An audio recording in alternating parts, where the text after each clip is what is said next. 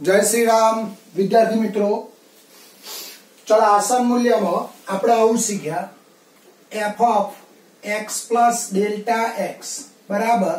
F of X plus F dash X into delta X એક્સમાં થતી ભૂલ delta x ચલો હવે log e base ten log e base ટેનની કિંમત તમને ખબર છે zero point four three four three અને બીજી કિંમત લોક ટેન બેઝ ઈ.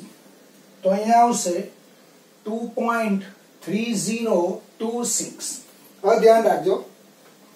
આપણે વિકલન કરીએ. લોગ એક્સનું વિકલન કરીએ તેનો બેઝ ઈ હોય. જો બેઝ ઈ હોય તો જ એનું વિકલન વન અપોન એક્સ લખાય.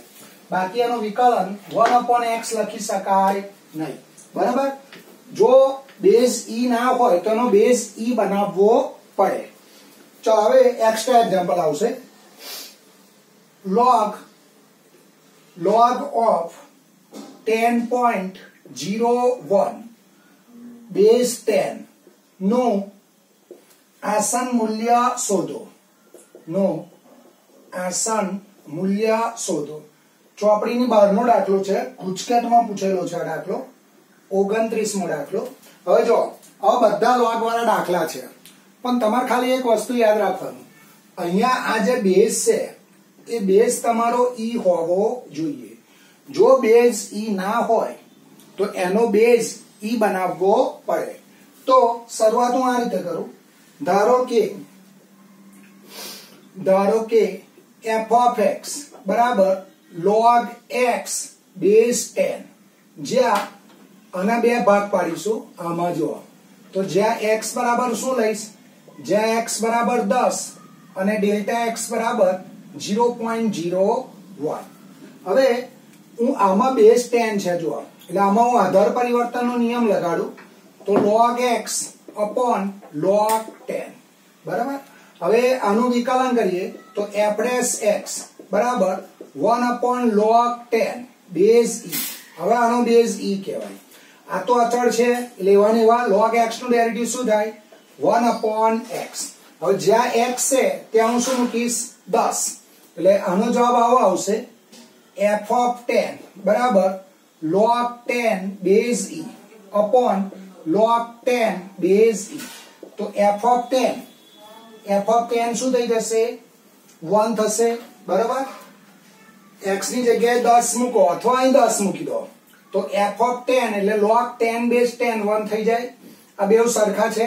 ચલો હવે ડેરિવેટિવમાં જુઓ. એફ ડેશ ટેન બરાબર? One upon log ten base e one upon ten હવે આની કિંમત ખબર છે જો લોગ ટેન બેઝ ઈ ની કિંમત. One upon two point three zero two six into one upon ten ચલો હવે સૂત્ર મૂકીશું. હવે f of x plus delta x બરાબર f of x plus f dash x into delta x ચલો એક્સની કિંમત શું છે ટેન એટલે ten plus zero point zero one બરાબર f of ten plus f dash ten delta x એટલે zero point zero one તો f of ten point zero one બરાબર ચલો એફ ઓફ દસ એટલે કેટલા છે one plus f dash ten એટલે one upon ten into two point three zero two six one upon સો. આનું આ જો અહીંયા જે એક્સ છે, એ એક્સ log ને લાગે એનો બેઝ શું બને? ટેન તો આને આ રીતે લખાય. Log ten point zero one base ten તો આનું આસન મૂલ્ય આનું સાદુરૂપ આપશો, એટલે તમારો જવાબ મળશે one point zero zero zero four three four three બરાબર? હવે અહીંયા આપણે એપ્રોક્સિમેટલી લખીશું. એટલે અહીંયા આગળ એપ્રોક્સિમેટલી કરી દેજો બધે. બરાબર? તો આનો એપ્રોક્સિમેટલી જવાબ કેટલો આવશે? One point zero zero zero four three four three હવે અહીંયા બેઝ ટેન છે જુઓ. હવે અહીંયા બેઝ ઈ હોય તો શું થાય એ જુઓ. બરાબર? તો આપણે બેઝ ઈ હોય એવો દાખલો લઈએ. ત્રીસમો એક્ઝામ્પલ ચલો ત્રીસમો દાખલો એક્સ્ટ્રા આવશે. ત્રીસમો દાખલો, એમાં આવું આપેલું છે લોક લોક સો પોઈન્ટ વન બેઝ ઈ નું આસન મૂલ્ય શોધો. તો શરૂઆત હું આ રીતે કરું. ધારો કે એફ ઓફ એક્સ બરાબર લોક એક્સ બેઝ ઈ જ્યાં એક્સ બરાબર સો અને ડેલ્ટા એક્સ બરાબર ઝીરો પોઈન્ટ વન આવું થશે? હવે અહીંયા બેઝ ઈ છે. એટલે ડાયરેક્ટ એનું ડેરિટિવ થાય વન અપોન એક્સ ચલો એફ ઓફ સો શોધો. તો લોક એક્સની જગ્યાએ સો મૂકો. હવે સો એટલે દસ નો વર્ગ થાય. એટલે લોક દસ નો વર્ગ બેઝ ઈ હવે ટુ આગળ આવે, તો two log ten base e ચલો લોક ટેન બેઝ ઈ ની કિંમત જો two point three nought two six હવે આનું સાદુરૂપ આપશો એટલે ચાર પોઈન્ટ સાહીઠ ચાર પોઈન્ટ સાહીઠ બાવન બરાબર હવે આ સૂત્ર મૂકીશું હવે f of x plus delta x approximately approximately f of x plus f dash x delta x ચલો x ની કિંમત કેટલી છે 100 એટલે 100 વત્તા delta x 0.1 f of 100 plus f dash 100 delta x 0.1 તો આ થશે 100.1 એપ્રોક્સિમેટલી ચલો એફ ઓફ સો એટલે four point six zero five two plus f સો એટલે અહીંયા આગળ સો મૂકવાના. તો એકના છેદમાં સો. One upon hundred into zero point one ચલો આનું સારું આપશો. હવે જો જે એક્સ એ લોગ ને લાગે, એટલે અહીંયા જવાબ શું આવશે? લોગ સો પોઈન્ટ એક બેઝ ઈ એપ્રોક્સિમેટલી ચલો આનું સાદરૂપ આપીશું, એટલે તમારો જવાબ મળશે four point six zero six two બરાબર? ચલો હવે આના જેવા જ હોમવર્કમાં આવશે એકત્રીસ, બત્રીસ, તેત્રીસ, ચોત્રીસ. એક્સ્ટ્રા એક્ઝામ્પલ છે. એકત્રીસ, બત્રીસ, તેત્રીસ, ચોત્રીસ. ચાર દાખલા એક્સ્ટ્રા આવશે હોમવર્કનો ચલો પહેલો ટોપિક તમારો પતી ગયો. આમાંથી એક માર્ક્સનું અથવા બે માર્ક્સનું સો ટકા પૂછાશે. ગુજકેટમાં પણ પૂછાય છે અને આમાં પણ પૂછાશે. બરાબર? ચલાવ નવો ટોપિક આવશે, વૃદ્ધિ દર. વૃદ્ધિ દર. તમે કેવું બોલો છો? વાયનું વાયનું એક્સની સાપેક્ષ વિકલન. તો તમે એવું કહો છો ડીવાય અપોન ડીએક્સ તો અહીંયા વાયનો એક્સની સાપેક્ષ વૃદ્ધિ દર.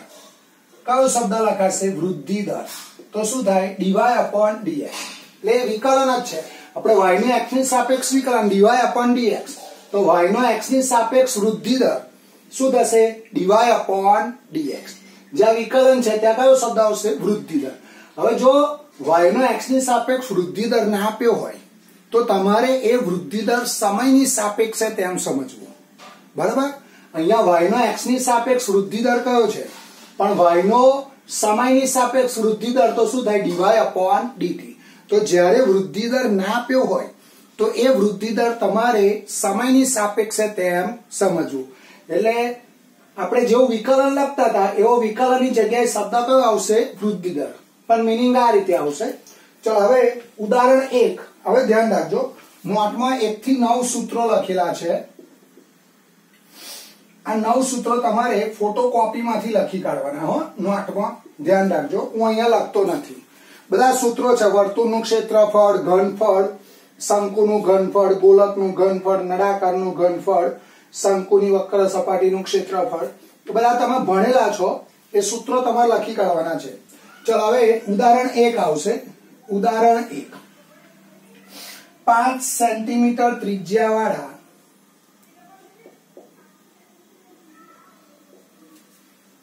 વર્તુળના ક્ષેત્રફળમાં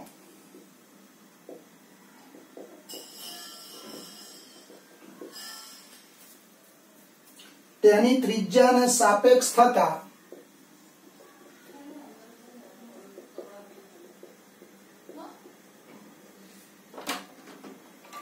ફેરફારનો દર શોધો.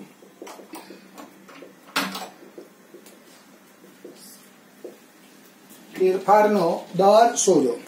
જો અહીંયા રકમમાં શું આપેલું છે તમને? પાંચ સેન્ટીમીટર ત્રિજ્યા વાળા વર્તુળનું ક્ષેત્રફળ શું થાય? વર્તુળનું ક્ષેત્રફળ પાય આર સ્ક્વેર. બરાબર? તો અહીંયા આગળ પાંચ સેન્ટીમીટર ત્રિજ્યા વાળા એટલે અહીંયા આગળ આ ત્રિજ્યા આપેલી છે આર બરાબર પાંચ સેન્ટીમીટર.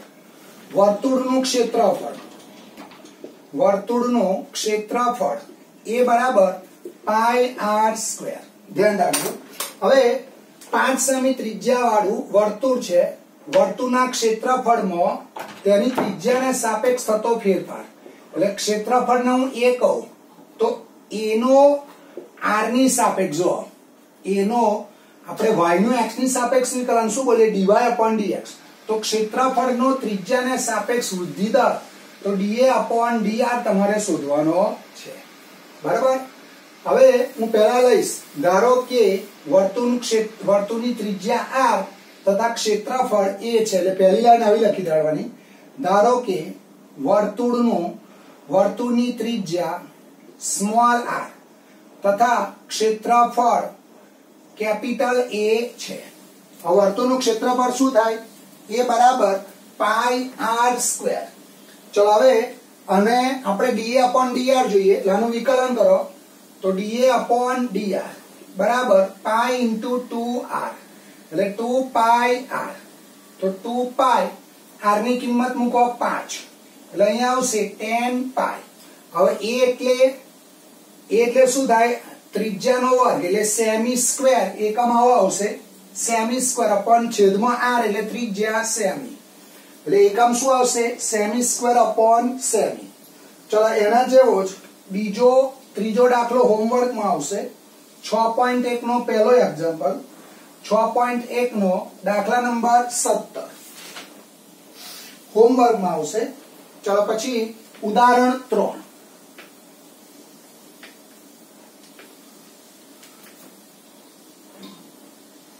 ઉદાહરણ ત્રણ. એની હું રકમ લખું. શાંત સરોવરમાં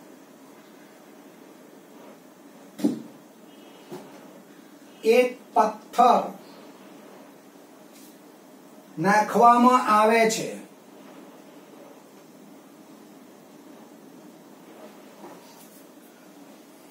અને પાણીમાં વર્તુળાકાર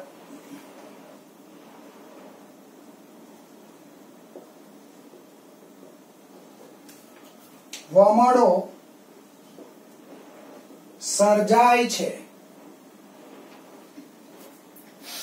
આ વર્તુળાકાર વમળોની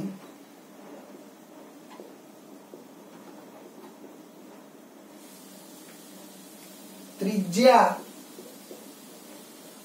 ફોર સેમી પર સેકન્ડ.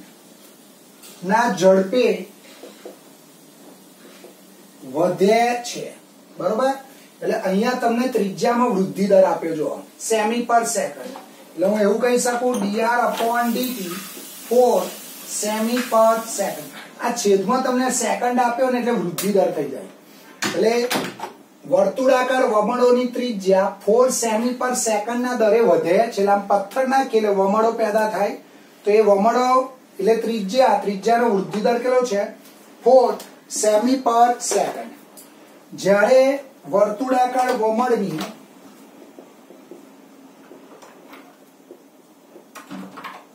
ત્રિજ્યા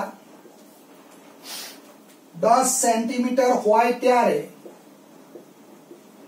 એટલે જ્યારે ત્રિજ્યા આર બરાબર દસ સેન્ટીમીટર હોય ત્યારે આ વર્તુળાકાર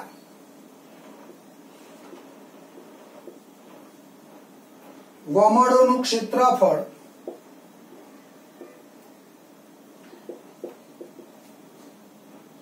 કેટલી ઝડપે વધે છે? એટલે તમારે ધ્યાન રાખજો, આપણું સરોવર છે. આ સરોવરમાં પાણી છે અને એમાં મેં પથ્થર નાખ્યો આમ. તો પથ્થર નાખ્યો એટલે આમ વમળો પેદા થાય? આમ જુદા જુદા વમળો પેદા થશે, બરોબર? હવે ત્રિજ્યા ચાર સેમી પર સેકન્ડના દરે વધે.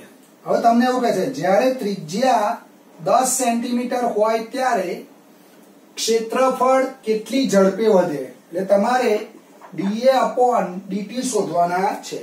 બરાબર? એટલે ક્ષેત્રફળમાં થતો વૃદ્ધિ, એટલે એનો વૃદ્ધિ દર. ડીએ અપોન ડીટી આ વર્તુળાકાર વમળોનું ક્ષેત્રફળ ક્ષેત્રફળ એટલે એ કેટલી ઝડપે વધે. એટલે અહીંયા વૃદ્ધિ દર નથી આપેલો આપણે વૃદ્ધિ દર કોની સાપેક્ષ સમજવાનો? સમયની સાપેક્ષ. એટલે શું શોધવાનો? ડીએ અપોન ડીટી તો પહેલા એક લાઈન આપણે લખી દઈશું. ધારો કે ધારો કે સ્મોલ ટી સમયે પાણીથી બનતા પાણીથી બનતા વમળની ત્રિજ્યા વમળની ત્રિજ્યા આ અને ક્ષેત્રફળ કેપિટલ એ છે. હવે ધ્યાન રાખજો. વર્તુળનું ક્ષેત્રફળ એ બરાબર પાઈ આર સ્ક્વેર વર્તુળનું ક્ષેત્રફળ શું થાય? પાઈ આર સ્ક્વેર હવે મારે ડી અપોન ડીટી શોધવાનું. એટલે મારે ટી ની સાપેક્ષ વિકલન કરવાનું. એટલે અહીંયા હું લખીશ ટી પ્રત્યે વિકલિત લેતા. તો ડીએ અપોન ડીટી બરાબર પાય અચળ છે. આર સ્ક્વેરનું ટુ આર કારણ કે આર એ ટી નું વિધેય છે. એટલે ટુ આર અને આરનું ડીઆર અપોન ડીટી ચલો ટુ પાય આર એટલે કેટલા છે દસ. અને ડીઆર અપોન ડીટી કેટલા છે ચાર. દસ ગુણ્યા ચાર, ચાલીસનું એસી પાય હવે એકમ જુઓ, એ. એ એટલે આર સ્ક્વેર. આર સ્ક્વેર એટલે સેમી. એટલે સેમી સ્ક્વેર પર સેકન્ડ. છેદમાં ટી છે, એટલે એકમ શું આવશે? સેકન્ડ. બરાબર? ચલો પછી પાંચ, છ અને સાત. એના જેવા જ છે.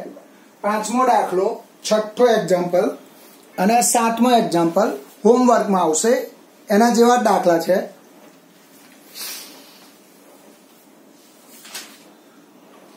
પછી આવશે છ પોઈન્ટ એક નો અઢાર નો દાખલો. સ્વાધ્યાય છ પોઈન્ટ એક નો દાખલા નંબર અઢાર. એક ગોળાકાર ફુગ્ગામાં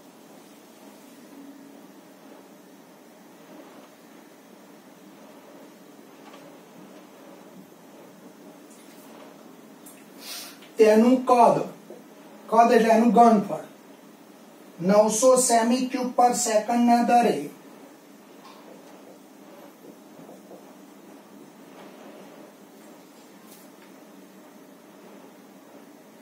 વધે એ રીતે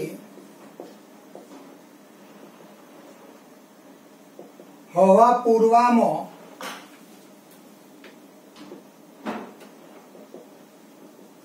હવા પૂરવામાં આવે છે. એટલે અહીંયા આગળ કદ આપ્યું છે જો એટલે ગોળાકારનું ઘનફળ એટલે ડીવી અપોન છેદમાં સમય છે. એટલે તમને વીમાં થતો વૃદ્ધિ દર નવસો સેમી ક્યુબ પર સેકન્ડ આપેલો છે જોવો જોઈએ પછી આગળ વાંચો. જ્યારે ફુગ્ગાની ત્રિજ્યા, જ્યારે ફુગ્ગાની ત્રિજ્યા એટલે આર. જ્યારે ફુગ્ગાની ત્રિજ્યા પંદર સેન્ટીમીટર હોય ત્યારે હોય ત્યારે, એટલે આર બરાબર પંદર સેન્ટીમીટર હોય ત્યારે ત્રિજ્યા વધવાનો દર શોધો. ત્રિજ્યા વધવાનો દર શોધો. એટલે મારે ડીઆર અપોન ડીટી શોધવાનો છે. આ દાખલામાં શું શોધવાનું? ડીઆર અપોન ડીટી હવે પેલી લાઈન તમે પહેલી લખી કાઢી ધારો કે ટી સમયે ફુગ્ગાની ત્રિજ્યા આર અને ઘનફળ વી છે.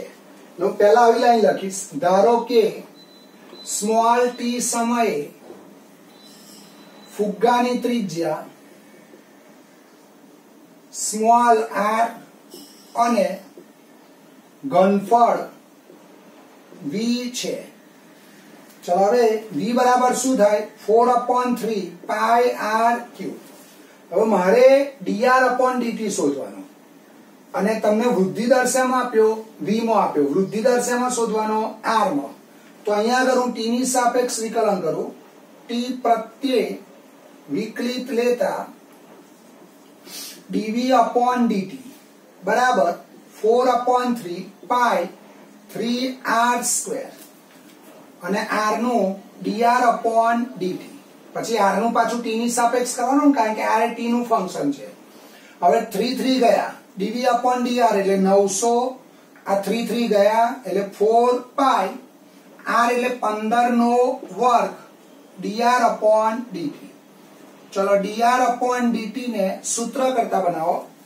એટલે અહીંયા જવાબ આવશે વન અપોન પાય હવે આર આર એટલે શું જજવો જોઈએ? ત્રિજ્યા. ત્રિજ્યા એટલે શેમાં આપી છે? સેમી. એટલે જવાબ આવશે સેમી પર સેકન્ડ. એટલે ડીઆર અપોન ડીટી એકમ શું આવશે? સેમી પર સેકન્ડ. ચલો પછી નવ, દસ નવ, દસ અને અગિયાર હોમવર્કમાં આવશે. નવ, દસ અને અગિયાર આ ત્રણ દાખલા હોમવર્કમાં આવશે. બરાબર? આના જેવા જ છે સેમ નવમો, દસમો અને અગિયારમો દાખલો આના જેવા જ છે. ચલો, અહીંયા અટકીશું આપણે. કાલે મળીશું. આવજો. જય શ્રી રામ.